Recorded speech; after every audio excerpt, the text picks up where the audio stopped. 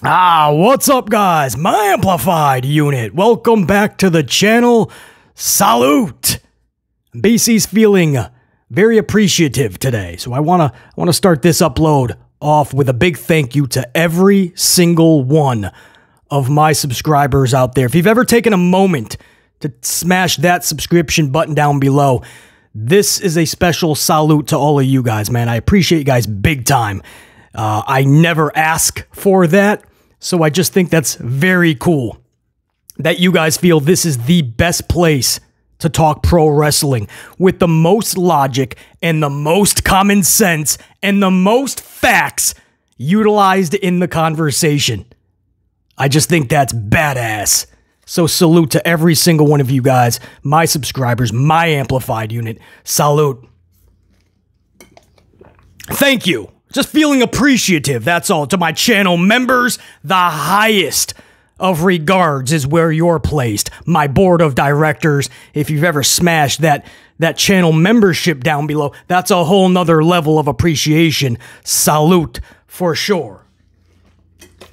All right, that's it. Well, sort of. If you've ever smashed the up, if you ever left a comment, if you ever said, What up, BC? Salute. All right, all right. I'm just playing. I mean, I am appreciative of all of that as well, especially lately. A lot of good conversation down in the comments over the last few uploads. You guys really having some some good input um, on so many of the topics we're talking about. So, you guys have just been awesome lately. Um, so because of that, I stay amplified and I keep rocking these uploads for you guys, man. I certainly don't have to do this. This isn't a job. when you get more successful, it kind of becomes such in a way. So much work gets put into it or goes into it, but you guys make it seamless. Um, and, and it doesn't feel as such for sure. So, this is still a hobby of mine that I am so passionate about. And because you guys come so amplified every single upload, man, BC, I, all I got to do is red light goes on, microphone turned up. Let's get amplified. So, I'm not exactly, uh, I'm not done with the shout outs yet, though. Sasha Banks, Mercedes Moné. You know, we got to talk about her, and that's where we're going to start off. Well, first, Miles Angel and Clint Green on the super thanks down below. Down in the comments, there's that thanks option. It's like basically a super chat for a regular upload. That's never needed. It's always appreciated. It's never needed. You guys went out of your way to chuck a coffee at BC in the channel. I believe it was yesterday's upload. So a special shout out to Clint Green and Miles Angel. And by the way, Miles Miles says, Glad I'm finally getting these notifications for your vids now, BC. Uh, salute. So, yeah. So, so they're not, they're not taking, uh, I'm going to leave Tube alone on this, man. As long as they're finally giving the notifications, that's all that matters. Let bygones be bygones. uh, Miles Angel, I'm glad you're getting the notifications, man.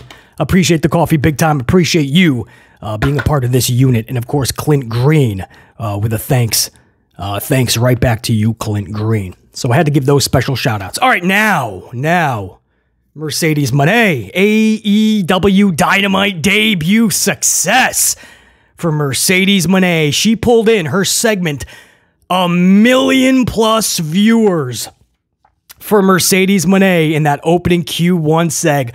A million for Mercedes. She was able to not just uh, keep the Big Bang Theory lead in, but she sustained it throughout the entire Q1 segment. That doesn't usually happen, obviously. Unfortunately for AEW, it's the same thing that's been hurting them for for really since they started the the company. They just can't keep the consistency. They can't keep fans needing to put that remote down. You know, it's just a want. Oh, I want to see this match. I want to see this promo, but I don't need to see the show.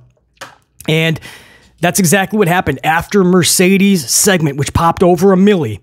They immediately started to go downhill. They went from 750 down to seven. By Q4, they were already around 700,000 ish. And by the end of the show, they were around 650 to 670, something like that. That was Willow versus Rio. Uh, obviously, that is just a, a wrong call, right? On such a big business kind of night, you're not going to put Rio versus Willow in the main event. And understand you want to have Mercedes come down and get physical. That's great, but that cannot be what you want your fans to tune in for two full hours to wait around to watch Willow and Rio, Even if Mercedes might might come down and do something. You can't have Willow and Rio in your main event and expect or be shocked when your rating is 650, 670, whatever it was, thousand viewers, down from the million that Mercedes was able to keep from the Big Bang Theory lead in. She was able to sustain that. Can the rest of the show help out Mercedes? Mercedes cannot put the entire show on her back. If anybody expects that, well, how did that work out for CM Punk? It didn't. He leveled off at 950, then started going backwards. Edge never popped anything, unfortunately. He got signed and the ratings went backwards. I feel bad for the dude. He got blamed for a lot of that. It's not his fault. It's not CM Punk's fault. It's not Paige Saraya's fault. It's definitely not Okada's fault. Everybody's saying, oh, since Okada got signed, the ratings keep going backwards or stagnant. Okada is a niche signing. We all know that. We all love, or most of us, love Okada. We know how good he is. We, we know such a cool, badass person he is. But him coming over was never supposed to bring casual fans to the product. It's Okada from Japan. That was never going to happen. That's a, a niche feeding signing, right? Feed the niche. Problem is, there's already enough wrestlers on the AEW roster that feeds the niche. So now you have to capitalize with the names, the big names that are going to draw casuals. You have to utilize them correctly. The only way this is going to work because it doesn't matter if you have CM Punk, Edge, Bryan Danielson, Mox. It wouldn't even matter if you brought Seth Rollins over right now or Cody Rhodes went back. Guys, what you need is two things to back them up good booking for them and everybody else, and consistency within your show. Every segment has to lead into one another. You have to start off hot with a, a hook, and you have to end your show with a cliffhanger. And in between, you should have two to three bare minimum stories that everybody is really captivated by. And you keep going back to them throughout certain segments. It has to be a complete show from top to bottom, beginning to end, start to finish. Otherwise, Mercedes can only do so much. This week, she was able to keep that million that the Big Bang Theory let in for you. And Mercedes was able to captivate people enough. But when she went off the air, so did all the viewers with her. And that's not good. The show dropped all the way to 650 some odd. 350,000 viewers took off with Mercedes. So, salute to Mercedes. There was no question that she was uh, going to at least pull them back to 9 950, whether they had the Big Bang Theory or not. She was going to pull something pretty, pretty big for them. Was the rest of the show going to back her up with it? That was going to be the question mark. Unfortunately, it didn't. Um, but to to clinch that Millie and keep the Millie throughout her segment, Mercedes does it again, uh, and that's just what she does. She captivates. So I'm not shocked, I guess, that she pulled the Millie. But uh, damn, pretty damn cool. I just hope that everything else falls into place. They have a full week to really say, all right, this is what we got. We're, we're promoting Mercedes next week. We got this big promo for Mercedes. We have to kick something in the high gear with her, and we need the rest of the show to fall, fall in line. We need something massive. Every segment should have fans talking about it or thinking, having questions about what's happening in, in, a good way too, not confusing like Paul Levesque McMahon. We're about to get to him in a minute. He's he's catching a lot of heat from fans right now, Paul Levesque McMahon. We'll talk about that in a minute. But questions that are good, right? You're intrigued. You, you want to find out the answers. This is what AEW has to start doing. And then you'll see many segments over the whole Q1 to Q8, at least four or five will be pretty good in terms of numbers, right? You'll pull uh, bare minimum up front 8 to 850 for 4 or 5. If you can do that, you'll stay steady. You'll get back to that 850 and then you can start thinking 9, and so forth. It's going to be a while before they hit a consistent million, guys, for the full show. Because even this week, even with Mercedes keeping that Big Bang Theory lead in for the entire Q1, the show fell off so flat that their end rating was, I believe, 801,000. So they did clinch it. Last week, they were only seven sem odd, right? 760, 770, something like that. So thanks to Mercedes, they were able to eclipse 800 again. But it's going to take a lot more if you want to get back to 859 consistently and then work from there. I hope that makes sense, guys. I know it's all over the place, but it's AEW has a lot of, of issues right now. They have so much talent. They just have to utilize them correctly to the point where the fans actually care. Because now even the niche audience is saying, eh. But Mercedes, what a moment that was. Mercedes is one of those people that can help. You just got to do right by her now. Use her properly, right? Same thing WWE stopped doing. We hope that AEW doesn't prevent that from the beginning. I hope they have something planned big and that Mercedes is going to be a big part of just one aspect that makes Dynamite in AEW really good going forward. Because right now, the show, the company, has a lot of issues. And one or two or even three big signings are not going to help that. Congratulations to Mercedes, though, man. Pop that millie right from the jump. Um, The Rock, real quick. Let's talk The Rock. The Rock is, uh, here comes everybody with the part timer to see. Here comes the part timer. He's leaving again after WrestleMania. Freaking part timer. That's what we know. He's a he's the biggest box office attraction in the world. Of course, he's going to make Hollywood blockbusters. Forgive him, forgive him not. I'm sure he doesn't care if you feel he should be wrestling 52 times a year or be in WWE for the full 12 months. He's giving you all of these SmackDowns. He's wrestling at Mania. He doesn't need the money, obviously.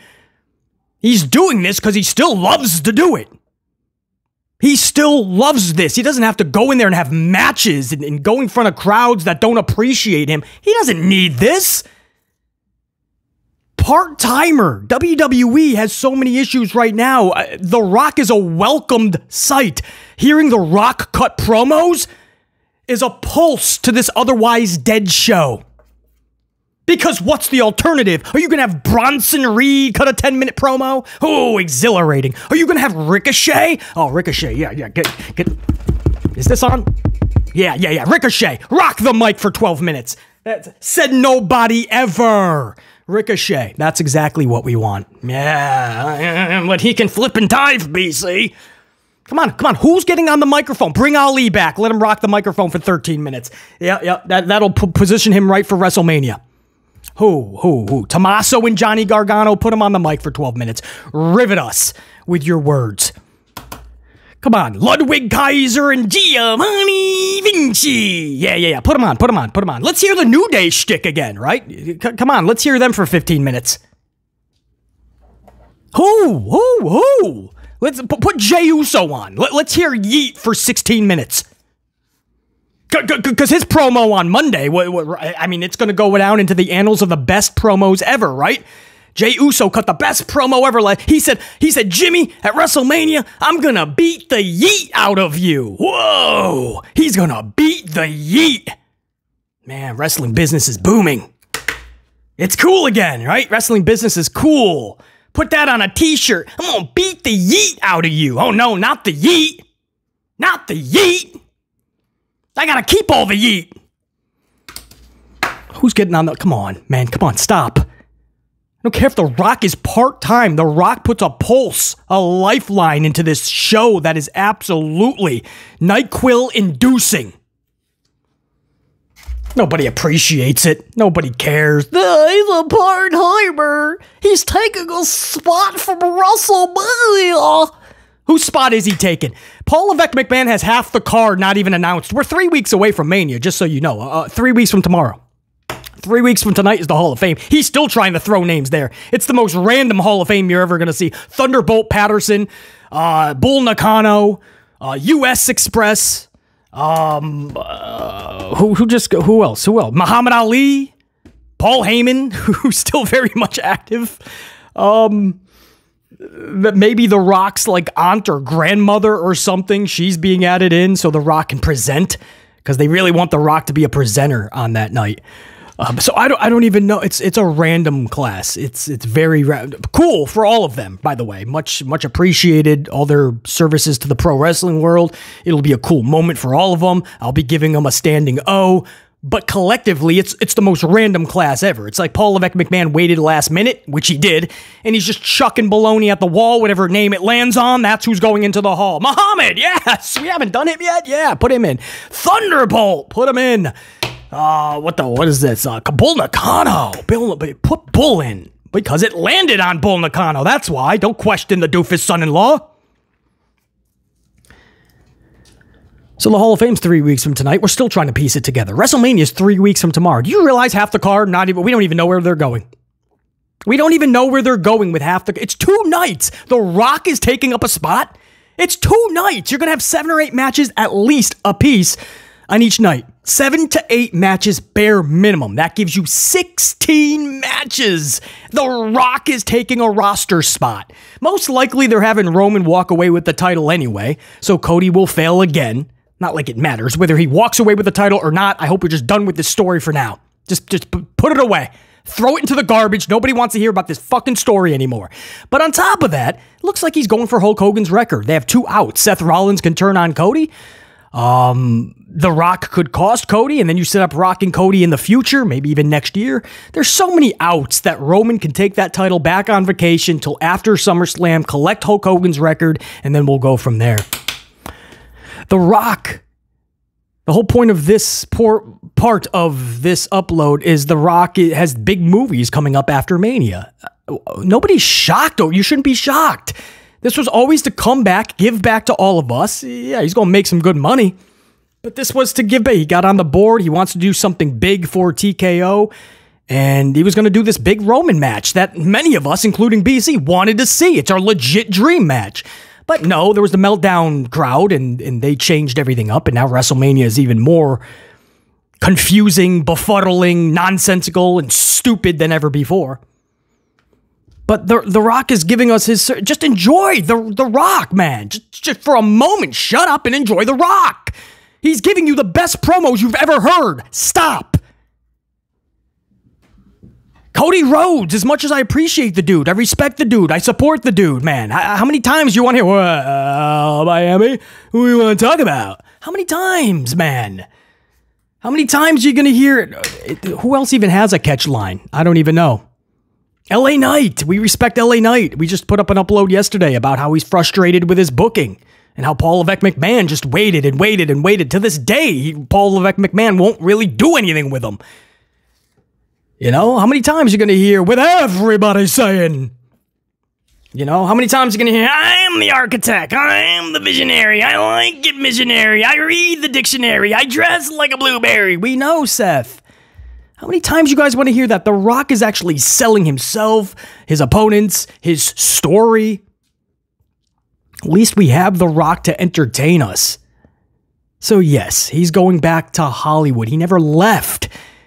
He just wanted to give back for WrestleMania. It's been 12 years since we've seen this guy wrestle. 12 years. You act like he comes back every year and takes WrestleMania spots. Now it's two nights, 16 matches bare minimum, and Paul Levesque McMahon still has 10 matches up front he doesn't know where they're going with. 10 matches! He still needs to pencil in in three weeks, but it's The Rock being a part timer that has you bitching and moaning. Stop, cut the shit, sit down. Asinine. To The Rock, we appreciate you. Salute to Dwayne Johnson. Rock it out tonight on SmackDown. He'll be there with Roman. Rock it out. Have fun with the with the clown show. And whoever is going diarrhea. Diarrhea. Right? I feel bad for all the ladies in attendance tonight with all the screaming dudes screaming diarrhea to the ring. But that's pro wrestling in 2024. It's cool, I'm being told again. Wrestling's cool and it's booming. We're gonna beat the yeet. Diarrhea. Yeah, salud. Mm-hmm. And if somebody like The Rock comes back, no, man, you're from the Attitude Era. We don't like that. We can't talk about the Attitude Era. This is the booming area. What's that? Era. What'd I say? Area? It's the booming era. I said era. You didn't say area. It's the booming era. Yeah, it's the booming era. All right. I'm going to tell you where it's booming to. The Rock is going back to Hollywood, they're saying. No, he never left Hollywood. He just took a little bit of a detour to give us all something special. But so many people claim they don't want it. Interesting. Those same people, by the way, when he comes out of that curtain, are on their feet, jaws drop, cell phones in the air, catching every moment. And then afterwards, they're like, ah, I don't like the Rocky sucks. Rocky sucks. Rocky sucks. Seems to me like he's one of the most successful people on the planet. Hmm, does he suck? Or does the person screaming he sucks suck? Hey, BC with the questions over here. Told you I was amplified today, man. Well, I always am, but uh, extra coffee today. Guys, I'm going to wrap this up. I don't want this one to be too long. We got the SmackDown review tonight. I'm going to put it up pretty late tonight, possibly, or early morning. But um, Paul Levesque McMahon, he's, uh, you talk about under. Uh, he's always kind of under some type of uh, extreme heat because he's just, he's lost, right? And he makes a lot of bad calls in WWE. He's just he's not the guy to lead WWE, unfortunately. And we understand, you know, everybody wants to bring up black and gold. I don't want to do this again, but without the William Regals and the Dusty Rhodeses and on Vince McMahon's dime, more so back then than ever before. Um, without all of that, it's just him. And just him, he can't do this wrestling thing creatively. It's just he's lost and then he gets overwhelmed and then he makes more bad calls and he just has this fascination with not wanting to follow good guy versus bad guy, which at the bare minimum, that's the foundation of wrestling. You take that away, there is no wrestling. Everything can't just be a collegiate uh, you know, just a, a college wrestling uh, matchup where you're just shaking hands afterwards. But he does these face versus face matches nonstop, heels versus heels nonstop. You're not just splitting your audience anymore, you're confusing them. You confuse them, you lose them. So everything this guy does, from from the failed cash in by Austin Theory on a mid card title, the U.S. title, on a Monday Night Raw, the middle of Raw, and he fails, and then. Levesque McMahon has him come out the next week, and his excuse was, I was never going to beat Roman anyway. Let's be honest. So he went for the title that he already held four times before, previous in the past year. Makes no sense. And then, a few months later, Austin claims he wants to be in the Rumble so he can earn a shot at Roman's championship. So now you want to go through 29 guys just to earn the opportunity to Roman, to face Roman, when you already had the opportunity with the briefcase and you said you didn't want Roman. That all changed in three months? Nothing makes sense. BC, in his amplified unit, used common sense and logic, and we're just calling Paul Levesque McMahon out on it. And the Cody Rhodes botch, obviously, at WrestleMania 39. We know what that led to. The entire year, nothing developed between Roman and Cody to get us excited for a part two. And then we all know the debacle that has been ever since January of this year. And you can go on and on with the booking botches of Paul Levesque McMahon, LA Knight, the way he handled LA Knight and did not have him with that United States Championship Fatal Four victory that would have placed him with the final two. Instead, they went Rey Mysterio and Santos Escobar. Why was LA Knight not in that match? So they did not have LA Knight win the US title, not even compete for it. They did not have LA Knight win the Money in the Bank briefcase when he clearly should have won it. And he was a face. It would have been the biggest pop when he comes down the aisle and cashes in on somebody. They didn't have LA Knight win. They put it on Damian Priest. To this day, as much love, much respect to Damian Priest, Damian Priest is irrelevant with that cash with that briefcase. Nobody even thinks of the briefcase with Damian Priest. Nobody's actually thinking that's going to be a great time when Damian cashes in. No, they dropped the ball. They did not want to give LA Knight anything. Instead, they catapulted him to a main event title match in Saudi Arabia, flat on his back, looking up at the lights, while Roman Reigns celebrated around him. That's what happened. And you wonder why LA Knight's pissed off. This guy was on top of the world, and somehow Paul Levesque McMahon absolutely ruined him. Sami Zayn, no different. Sami Zayn was on top of the world under Vincent Kennedy McMahon last year at this time. And since HHH really catapulted into control, Sami Zayn has been on a whirlwind downhill trajectory. And what Paul Levesque McMahon thought was going to catapult Sami Zayn was have him lose a bunch. We're going to put you on a losing streak, and then we're going to try to build you back up, right? We're going to make you like Rocky, right? So we're going to make you lose a bunch. How did that work out for you? You're going to make this guy go on a losing streak and then win a couple of matches, and boom, he gets the IC title match. How did that work out? Because this past Monday, this brings us full circle to now. I'm just giving you guys some examples of why Paul Levesque McMahon is not fit for this job of head of creative. And right now, every McMahon should be removed, including Doofus son in laws. Hey, CM Punk's words, not mine. But now, now everybody is coming out under the woodwork and and they're voicing their displeasure at a major decision that was made on Monday Night Raw, and that was between Chad Gable and Sami Zayn. The final two in a gauntlet match. Sami Zayn defeats Chad Gable, and the wrestling world was like, "What the? F- Are you kidding me? You set it up perfectly for Chad Gable." Now, BC was fine fitty fitty on either. It could have went either way, Sami and Chad. Now, I did a live stream Right before that Raw, my unit showed up big. That was on like 15 minutes of notice, by the way. Even less, I believe. 13 and a half, maybe. But man, you guys showed up big time in that live stream. And it was good that you did because I asked you guys, Gable or Sami, and you would not believe how many people were backing Chad Gable. And the unit is a microcosm of the grander scale of the wrestling world and community. So let me tell you, we found out quickly if Paul Levesque McMahon just did things like that, listened more vividly. I'm not saying you got to go along with everything your fans say, right? Like the like if people have a meltdown because somebody like The Rock is going to be in the main event, you can't necessarily change all your plans. I get it. But just read the room. Like the Cody Rhodes Roman Mania 39 match. You got to read the room. There was no way Cody could leave WrestleMania 39 without that title, especially if you know Roman's going on vacation for the rest of the year, basically. And Cody has to show up all around the world, so many countries. And you're going into the Brock feud. The whole point of the Brock feud was Cody having the title. Read the room! Instead, the air was taken out of that stadium and everybody watching around the world. And to this day, they never got that mojo back. HHH is horrible at reading the room. And now I'm starting to wonder does he even care to read the room? Because BC in the unit did that poll right before Raw, and it was an eye opening experience. We saw, whoa, hold up, time out. I don't know what's planned tonight, but you might want to go Chad Gable.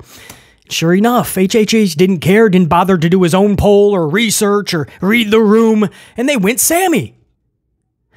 Chad Gable is the one that the wrestling world was ready to absolutely rock out for. You saw it right there in the arena. It was not the it was not the reception that Sami thought he was going to get. Sami, did you guys hear Booker T? Booker T came right out and said they had a conversation afterwards. Sami Zayn told Booker T, dude, I don't know what I don't know what happened.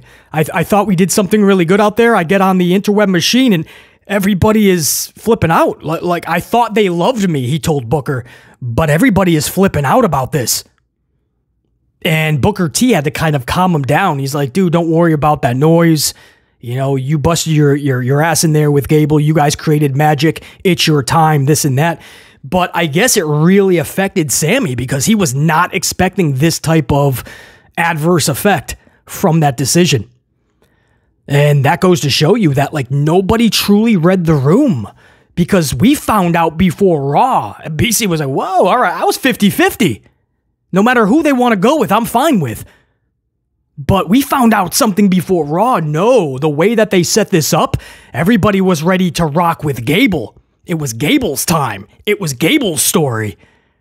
And they didn't like the, the, the Sami Zayn losing streak only hurt Sami. It did not help his cause. Paul Levesque McMahon did wrong, did dirty by Sami or to Sami. That's what I mean. I, I told you guys from the jump. It was so odd seeing Sami lose all these matches. We knew it was just a, for a rebuild up, but this is not how you do it. Somebody like Sami doesn't need to go on a losing streak. You just book them properly. I knew this was not going to work out, and I knew it was going to absolutely ricochet right back into Paul Levesque McMahon's face, and that's what happened. The wrestling world, I mean, pissed, making it known to Paul Levesque McMahon people that uh, still respect and put this guy on a pedestal. They were like, Paul, sorry, dude, not sorry, wrong call. Paul Levesque McMahon got it totally wrong on this one. What was Levesque McMahon thinking? This was Gable's time. By the way, they didn't necessarily put the McMahon in there. I'm, I'm kind of adding that in. But these are this is what you're seeing in the community. People flipping out. It took this it took this for people to wake up and realize Levesque McMahon has lost the room. And he lost it because you got to question did he ever have it? He certainly doesn't read it. I don't know how you guys feel about it, man. Are you still okay with Sami Zayn? We all love Sami, obviously, and it's a fall from grace from last year's Mania for sure. Winning tag titles with Kevin Owens main event of night one, and now people are like, dude, you were on a losing streak, booked so poorly the rest of the year and start of this year that you just all of a sudden being catapulted to an IC title match doesn't do anything for us. That's what the fans are saying. They'd rather see Gable. Now, do they do some type of schmaz where it's a triple threat? I don't want to see that. You made your bed, now you got to lie in it. Just have Sami and Gunther. It sucks. The wrong decision was clearly called, and Gable did not get that that chance. But it looks like they're already adding Kevin Owens to Logan Paul and Randy Orton. You can't just keep having schmaz matches for titles just because you're lazy and you didn't think ahead. The tag team titles for the dudes. That just doesn't have a number one contender at Mania. It has a number two contender. The number three, four, and five contenders. They're all facing each other. It's a six tag team ladder match. They don't care anymore. They're just adding a bunch of schmaz matches. We're still hearing there's a chance Liv Morgan and Nia Jax could be added to Becky and Rhea. And don't even get me started on the women's tag titles. Levesque McMahon has no clue what he's doing for that one. They planted a little bit of a seed for Naomi and Bianca Belair to get together. I thought it would have been cool to have Tiffany Stratton and Naomi. They already have a little bit of history. But it looks like maybe Bianca and Naomi. Some people think Bianca might turn on Naomi. So does that mean they don't get the tag titles from the Kabuki Warriors? Levesque McMahon's lost. We know that, right? We are 22 days away from WrestleMania. Three weeks from tomorrow is WrestleMania 40, the 40th anniversary. I cannot remember a build this week. I cannot remember being this close to WrestleMania and having no feeling or emotion at all attached to WrestleMania. We are the amplified unit. This is B motherfucking C. And until next time, and there will be that next time, top guys, we're out. BC saying check you. Peace.